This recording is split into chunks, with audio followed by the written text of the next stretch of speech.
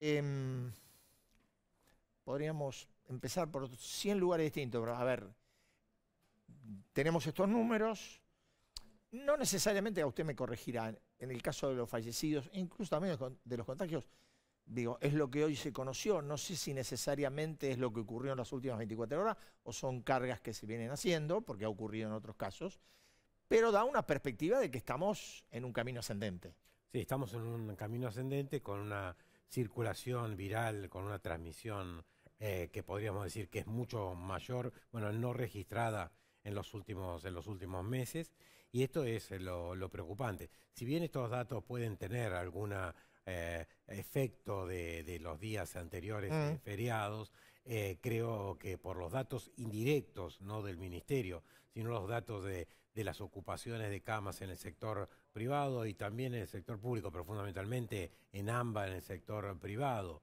Eh, más la cantidad de pacientes que, asistimos que van aumentando, más los amigos de los amigos que, empiezan, a tener, que empiezan a tener infección, eh, esto demuestra que estamos en un ascenso de lo que veníamos hablando, de este fenómeno que podía parecer, que este huracán que podía eh, producirse, que bueno, lo charlamos creo que hace unas cuantas semanas aquí, de este efecto que podía tener aceleradores, que son las variantes, el, relajar las medidas eh, sanitarias y el no acceder a vacunas. Ahora, Esos tres factores son los que aceleraron. Ahora, Debac, en ese sentido, digamos, ¿qué, ¿cuánto se puede asignar a lo que es, bueno, eh, se relajó eh, el contacto social, la gente se empezó a juntar, y cuánto a la demora que hay en, términos de prestar la vacuna, ¿no? O sea, la vacuna va muy lenta y que me parece que va bueno, usted lo dijo acá en algún programa, viene muy de atrás y seguimos muy de atrás. Sí, sí, son, todos estos, factores que usted acaba de mencionar.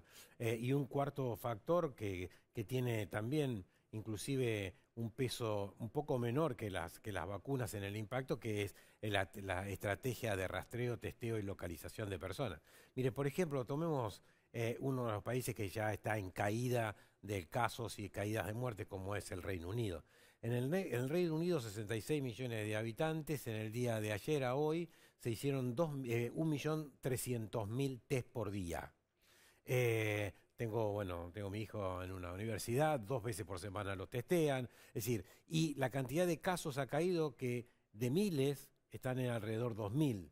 Y de muertos han tenido, lamentables fallecidos, han tenido días de 0, días de 19, días de 20. Esto es un impacto. Pero, ¿por qué muestro este impacto que es de la vacuna? Pero es de la vacuna y también de restricciones sanitarias y de testeo en alta, en alta tasa. Hoy, por ejemplo, en los últimos días, promedio, se habrán hecho 50.000 50 test y han eh, sido alrededor, pongamos que sean 10.000 las personas que han sido eh, determinadas. Entonces, ¿cuántos test se debería hacer en la Argentina? Hay que hacer un modelo matemático, pero a grosso modo, a grosso modo no, basado en algunos datos, entre 400.000 y 500.000 por día, testeos. ¿Cuánto estamos, haciendo? Y estamos haciendo 50.000. Y 46 creo fueron hoy. Por eso, ¿qué, qué, qué es lo que quiero decir con esto? Porque si yo puedo detectar 10.000 personas, hay un coeficiente que hay que corregirlo, pero posiblemente haya cuatro a cinco veces más cantidad de personas. Quiere decir, si yo tengo 10.000 voy a tener 50.000 en ese día. Pero 40.000 no sé dónde están,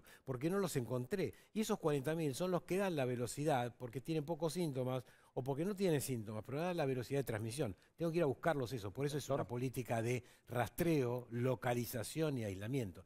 Y eso realmente tampoco es un factor. Ahora, hay tres ejes que están hablándose en las reuniones entre la nación, la provincia y la ciudad. Uno es el transporte público, el otro es las actividades recreativas y el otro la nocturnidad. Quizás en el tema de las actividades recreativas y la nocturnidad aparece este elemento de que hay gente mucho más joven contagiada. Sí, pero no solo por la, no solo por este efecto de, vamos a decir así, de juntadas de eventos supercontagiadores. Recordemos que las variantes que están las variantes que están tomando intensidad en la Argentina, la del Reino Unido y la de Manaos, las dos tienen mayor transmisibilidad una de ellas es complicada, la de, la de Manaus, porque puede producir reinfección, pero las dos también afectan a, a las personas jóvenes, a diferencia de las anteriores que los jóvenes estaban relativamente protegidos. Y ahora también se agrega los, los niños. Pero volviendo a esto de este grupo afectado, se sabe que la variante de Manaus en Brasil, hay un dato de las últimas, de las últimas horas, eh, que demuestra que tiene una, un aumento de la probabilidad de enfermedad en los jóvenes, principalmente en las mujeres, entre 20 y 59 años, eh, que también produce una tasa mayor de complicación en este grupo poblacional. O sea, los jóvenes... En eh, mujeres, dijo usted. En mujeres. Eh, Es un poco mayor que los hombres, pero Mm. No, no, que, sí. siempre, que siempre era Sí, mayor en el hombre que en la mujer. Sí. Las variantes producen esto. Ahora, cuando tengo un país que no accedo a altas tasas de test, que no tengo disponibilidad de vacunas, la circulación de estas, de estas variantes es un problema de la Argentina, un problema regional y un problema global sanitario. ¿Por qué? Porque si circula y yo no puedo contener, otros países van a tener esto, pero también en ese momento de oportunidad que tiene el virus puede recombinarse. ¿Y cómo se puede recombinar? Mire, hay teorías diferentes, pero hay una que es bien básica, que cuando afecta este virus a personas que tienen deficiencias en la inmunidad, es decir, todos los pacientes que han- están bajo tratamiento de, por ejemplo, cáncer, eh, esas personas si se infectan posiblemente puedan no complicarse. Pero, pero el virus está más tiempo, en vez de estar, pongámosle promedio, siete días, va a estar un mes. Y un virus en un, un mes, en una persona con defensas bajas, tiene un mecanismo que se llama de autocombinación y producir otra probable variante. Entonces, no es que yo necesito las vacunas solo para vacunar a los 12 millones de argentinos mayores de 60 y menores de cuen- de 60 con comorbilidad para que ellos no se compliquen y no tengan la probabilidad de fallecer, sino que también debo proteger a ese grupo y a otro grupo para disminuir la circulación, para que este problema de la Argentina no sea regional o global. Dígame, em, yo lo escuchaba recién y, y la verdad que mm, me, me remonto al año pasado y A los errores. siento que muchas cosas Estamos te usted- diciendo lo que mismo. usted dijo, las dijo, no, no porque sea reiterativo, No, no, pero digo, a ver, ¿qué tan mal se hicieron las cosas? o ¿Cuáles son las cosas que se hicieron específicamente mal o que no se hicieron? Bueno, de- todos coinciden, la, la- la- la academia, por así decir, eh, coincide, sociedades científicas, líderes de opinión científica, asesores del gobierno, eh, que las cuarentenas prolongadas produjo un efecto eh, de impacto en la salud de los argentinos, física y emocional, y además el impacto económico, yo no soy un especialista en esto, pero de la salud produjo esto. Bueno, ese primer, primer punto. Primer punto. Ahora, ese primer punto, si yo estoy pensando que va a haber restricciones porque quiero producir un golpe inicial para reducir la transmisión, eh, yo lo que espero que sean, que si aparecen estas restricciones estén basados en las evidencias, no en los errores. ¿Cómo lo puedo transmitir esto? Pablo recién decía, bueno, pero la nocturnidad.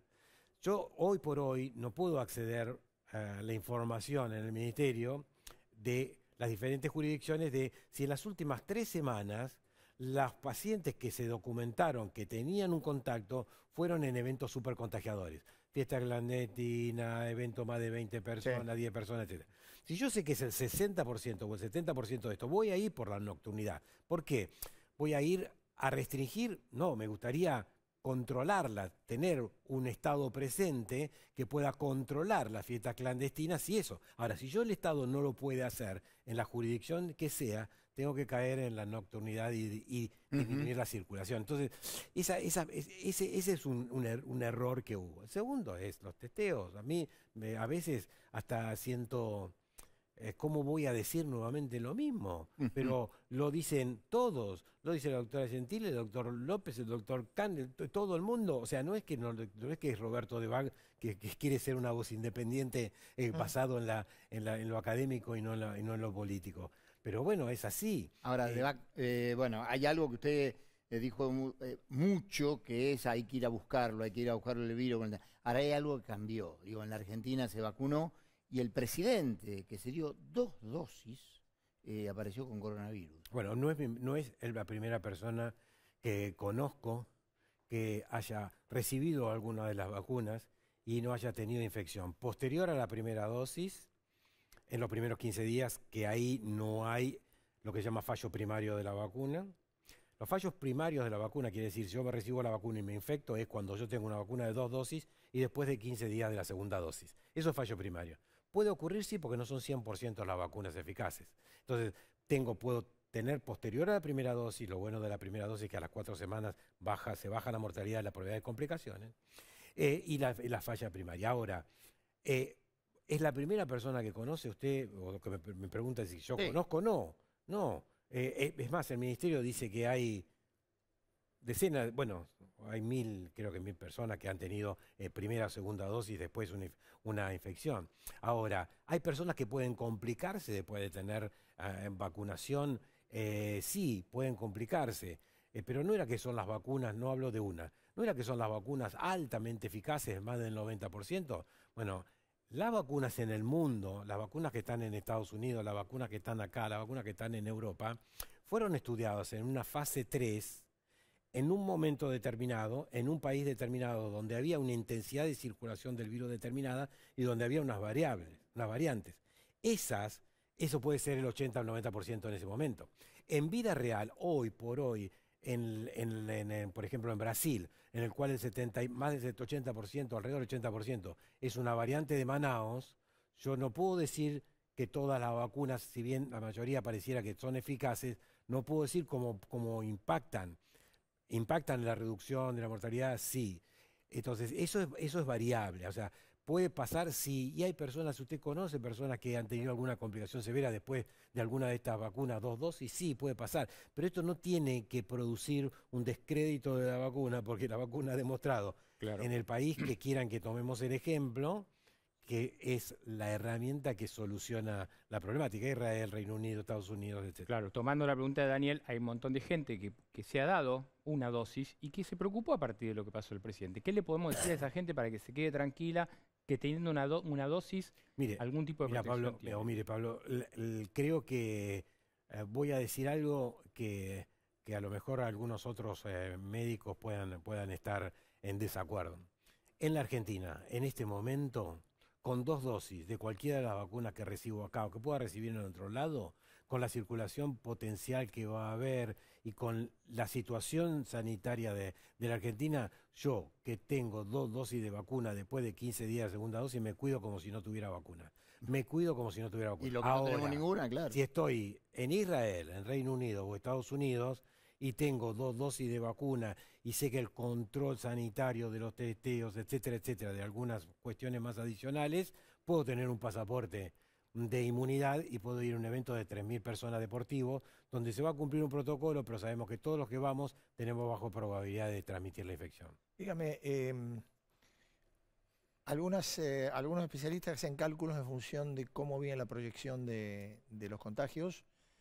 Eh, hablan de mayo y junio con posibilidad de hasta 30.000 casos diarios.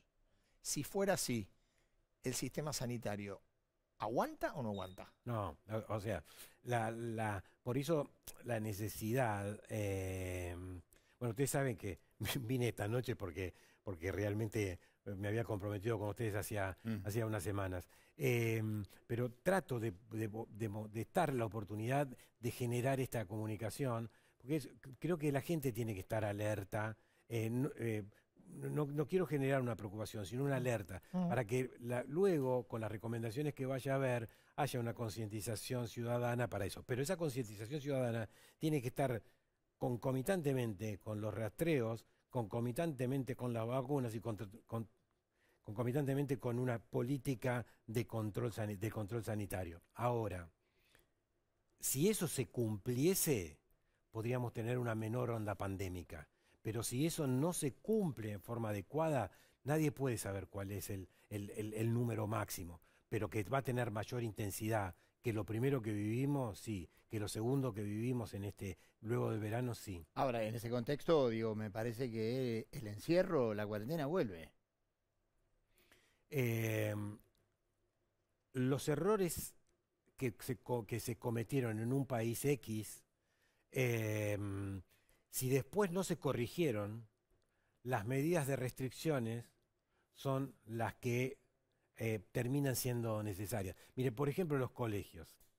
eh, los colegios, todos estamos de acuerdo que no tienen que cerrarse los colegios, que no tendrían que haberse cerrado prolongadamente, si en, una- en un mundo donde estuviesen todos estos, todos estos componentes. ¿Qué puede pasar de ahora en más? Los colegios posiblemente no se cierren, pero los colegios posiblemente tengan una muy baja intensidad. Sí. ¿Por qué? Bueno, una muy baja intensidad, pero también eso lesiona a los chicos, porque, mire, ¿por qué digo la baja intensidad? En un colegio, cuando aumenta la infección en la comunidad, los docentes que son adultos también se ven afectados, au- aumenta el ausentismo, Claro. eh, ausentismo docente.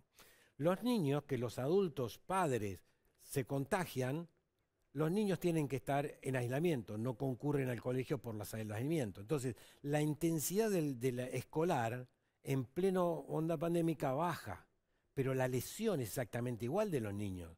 Volver a su casa, componentes emocionales. Nadie le está diciendo te cierro la escuela, pero los niños vuelven. Los padres tienen que estar con este impacto eh, emocional, eh, cognitivo, etcétera, de, de los niños. Doctor, mil gracias Perdonen, por estar. ¿eh? los, los comentarios, pero creo No, que no, no, no. son alertas. Es, y que- que absolutamente, absolutamente. Muchas gracias. Muchas gracias. Vamos a ver.